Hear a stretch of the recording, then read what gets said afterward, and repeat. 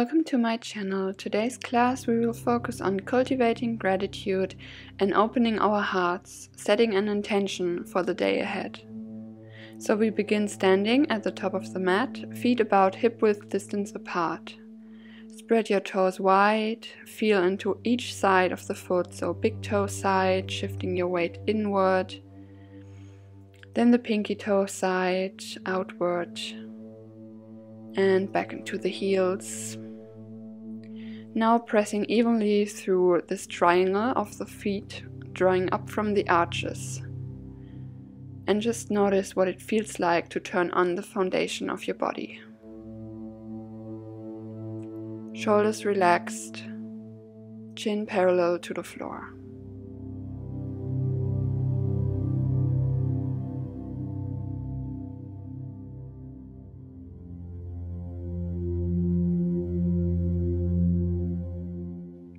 Take your hands at prayer in front of the chest. Coming to our theme for today, I invite you in to state three things that you are grateful for. So you can say to yourself three times, I am grateful for blank. So, three individual gratitude statements. Could be something small like, I am grateful for making it to my mat today or just for taking a short walk, enjoying nature, drinking a good cup of coffee, whatever you want to and whatever you feel grateful for.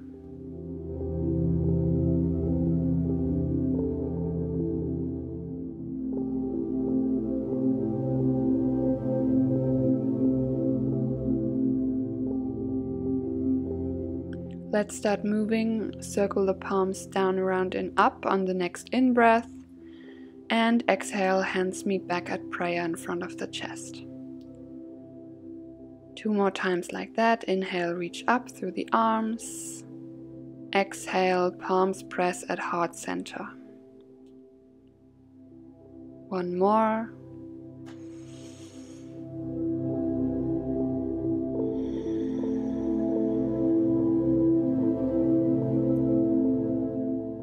Now we'll do three half sun salutations. So inhale, palm circle up.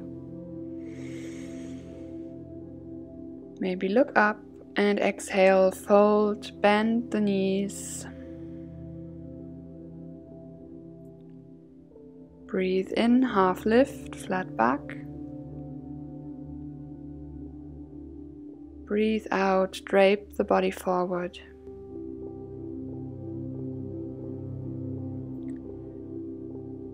Inhale, arms up, come back to Tadasana, mountain pose. Exhale, hands through prayer. Now I invite you to restate your first gratitude statement from the beginning of class, really infusing it with our practice and the movement. On your next inhale, reach up, maybe look up and then let all the air out as you fold over your knees. Breathing in, palms press into the chins or the thighs. Breathing out, melt forward. Inhale, sweep the arms up. And as you exhale, hands at prayer, taking two cycles of breath to restate our second gratitude statement here fusing it into the heart area.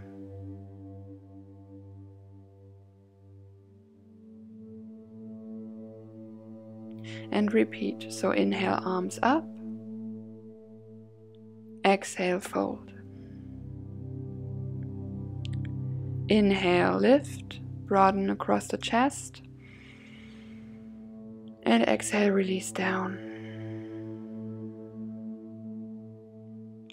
Inhale back to mountain pose. Hands at heart on the exhale. Calling to mind our third statement. And maybe putting on a smile on your beautiful face.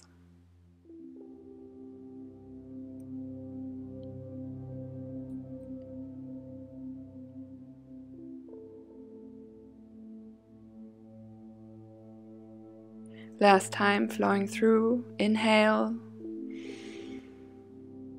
Exhale.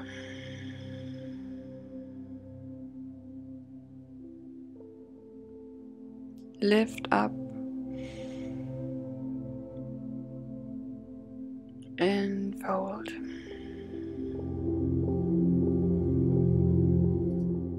This time, inhale half lift once more, heart forward.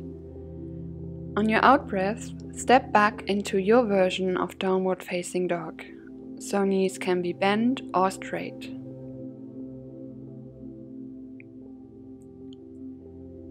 Let's lift the right leg up to the sky, hips stay square to the floor. Placing the right foot in between the palms, coming into Warrior One. So turn your back foot out at a 45 degrees and come up. Make sure you have a nice wide stance left to right, hip width distance or wider. And if you have any knee problems, just come into a high lunge with the back heel lifted. Front knee tracks above the second toe, directly over the ankle. And now clasp your hands behind your low back to open the chest still keeping your front ribs pulling in, opening in the upper back, upper chest. You can either stay here or progress into humble warrior. Bowing forward, right shoulder comes to the inside of the right knee, crown of the head points down and surrender. Legs are active and engaged. Upper body is soft. Let go of anything that's no longer serving you here.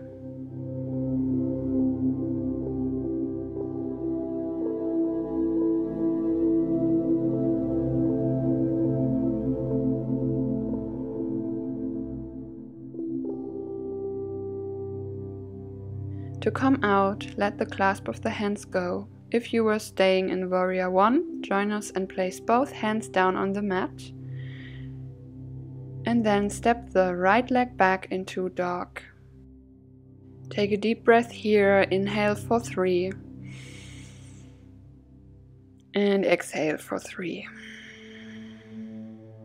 Let's do the other side. So left leg rises, both hip points point down. Exhale, step through. And the left foot turns out at a 45 degree angle and then lift up into Warrior 1. Arms reach up. Again, look that you have a wide enough stance. Knees over the ankle. And if you want, you can take both hands on your hips to square them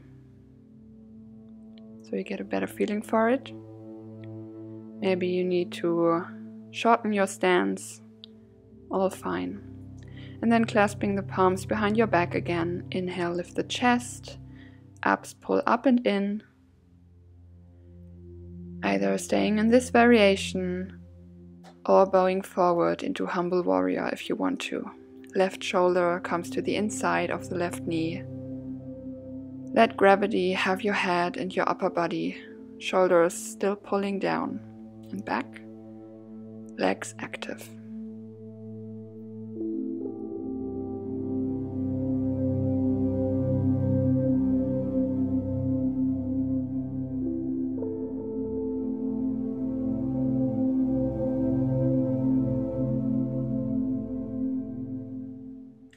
And release the hold of the hands.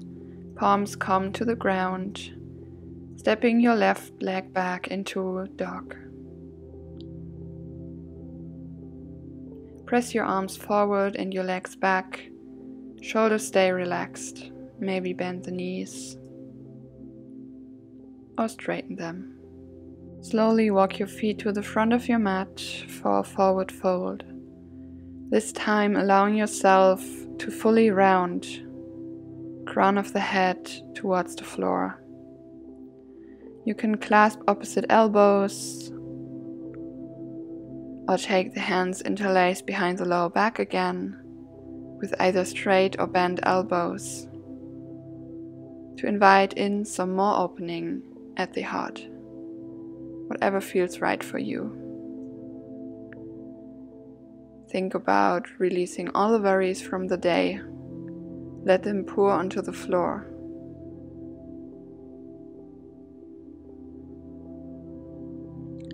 Take a moment to be grateful for your feet and your legs and all the journeys they take you on each day.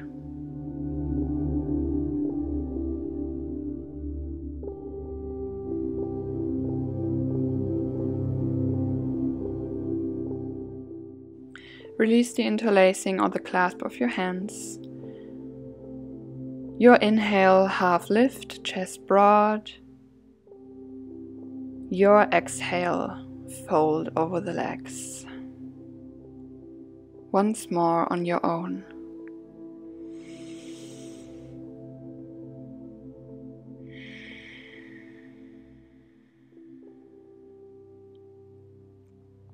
On your next inhale, we lift all the way up to stand, palms press up. Exhale, hands meet in prayer.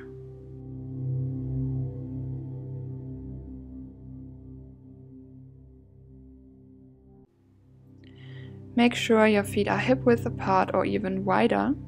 Turn your toes out and your heels in so that the toes are off the mat, heels on the mat to come down into Malasana squat pose. If you don't make it all the way down yet, feel free to sit up on a block.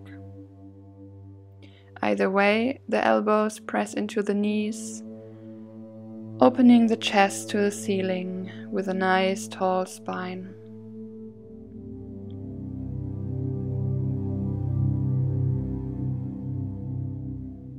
You may be able to feel the subtle but powerful connection with your heart center being in this pose. Once again, recognizing things in your life that you are truly thankful for, no matter how big or small they may seem. They all matter. They all have value.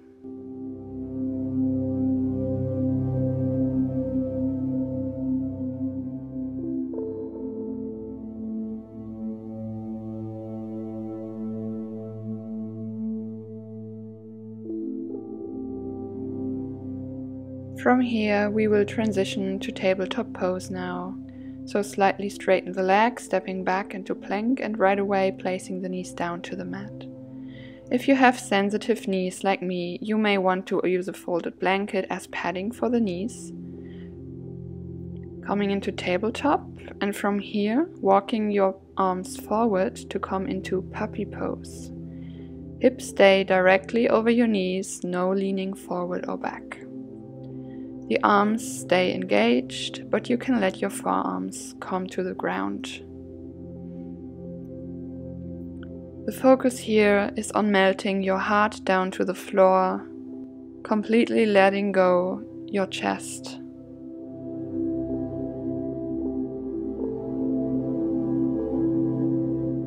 Could also bend at the elbows and take your hands at prayer behind the neck Allow the subtle but healing energy of gratitude you've been able to cultivate in your practice begin to wash over you as you surrender here down to the ground.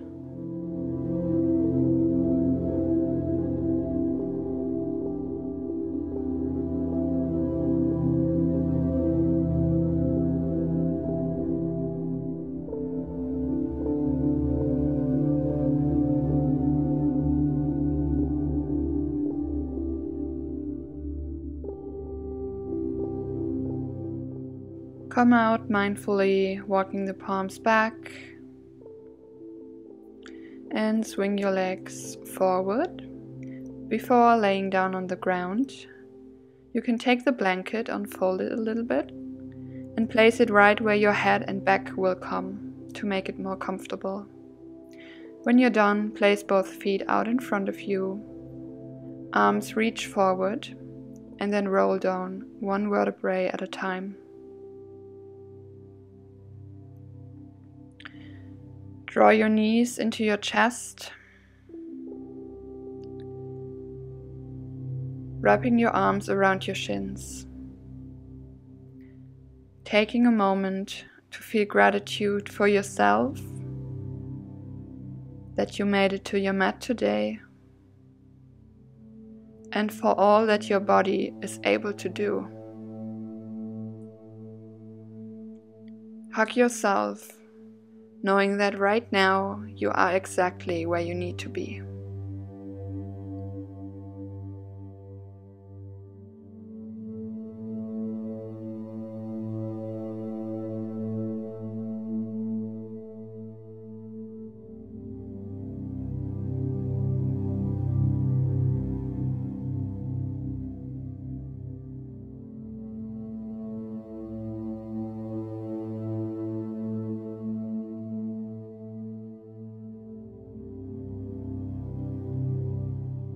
Let that go. Come back down with the feet. Let the soles of the feet touch now, knees falling out left and right for reclined goddess pose. You can place one block under each knee if the stretch is too intense, on whatever height of the block you want to, or also if you are having any knee issues, you want to place the blocks under your knees to protect your lower back also. Your hands can go wherever feels best to you, so maybe left hand to chest and right hand to belly, or both arms reach overhead in a diamond shape. This relaxing chest opener really inspires gratitude as you allow the ground to support you and your heart to open. Feel this in your body.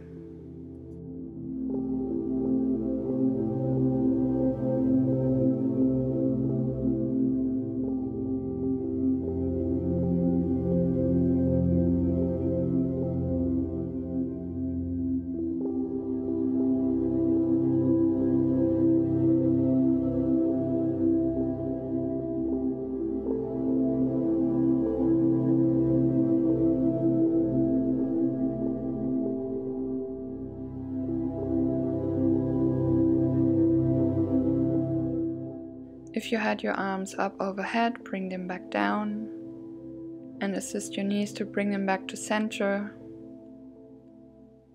You can remove the blocks. Pull your knees in for a last squeeze. And then slowly straighten one leg and then the other for Shavasana. You can take the left hand to the heart and the right hand to the belly, or let each arm extend near each side palms facing up. You may want to recall your three gratitude statements from the beginning of class one last time, letting the feeling of gratitude all encompass your whole being. And just rest here.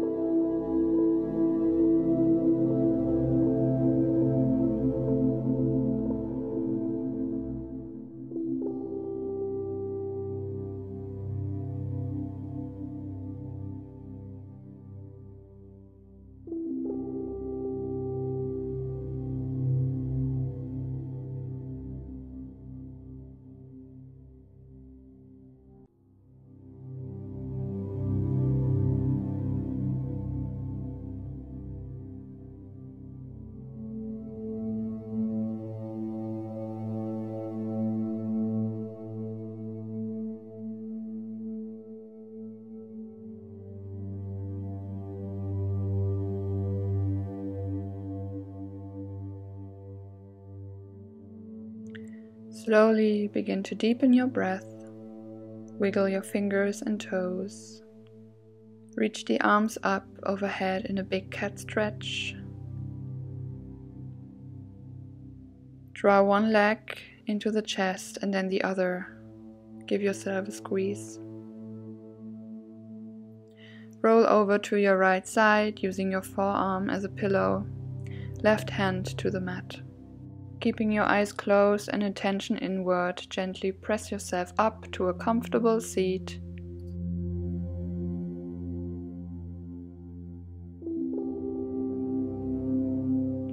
Palms come together in front of the heart, and may you carry light and love out into the rest of your day.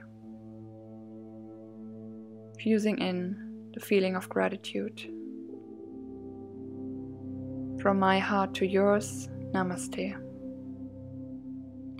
Thank you for practicing with me. I hope you enjoyed this class. Please remember to subscribe to my channel, like this video, and share it with a friend. May your life be filled with joy and light. Namaste.